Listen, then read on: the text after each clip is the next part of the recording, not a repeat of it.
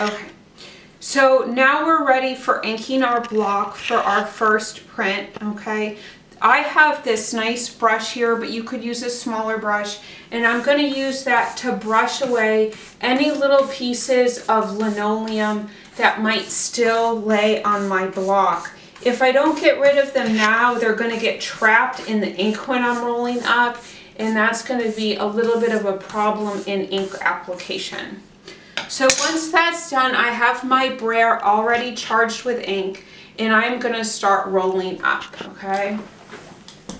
And you'll notice that as I do this, I will constantly return my brayer to the ink station to reload it with ink.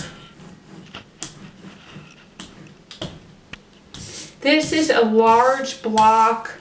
Um, this is an 18 by 24 inch piece of linoleum. So it will take quite a bit of ink especially since it's the first time that it's been printed.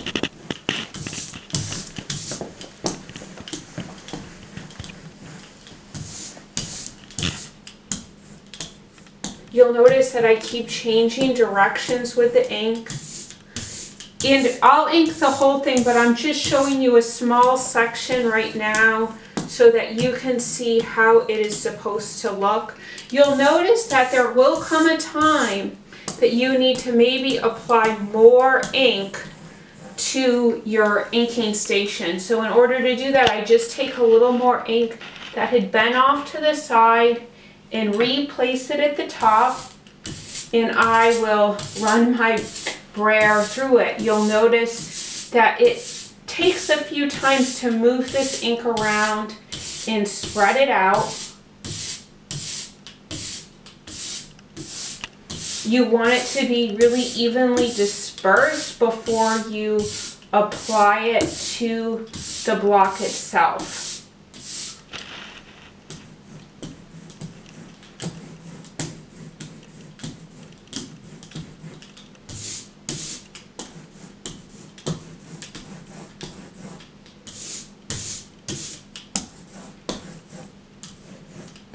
This linoleum I'm using has a little bit of texture to it, which I'm seeing as I ink it up, okay? Your, if you have the gray linoleum at home, you'll find that that is smoother and that texture won't be as evident when you ink up. So if you look in this area here, you'll see that it's um, pretty much getting to be fully inked. You'll notice the transition from the starting point without ink to as it slowly gets darker and darker to pretty much almost black, okay? And you will make sure your entire block has been fully inked before you print, okay? So I'm going to um, continue to ink this up and then I will show you what it's like when it's fully inked.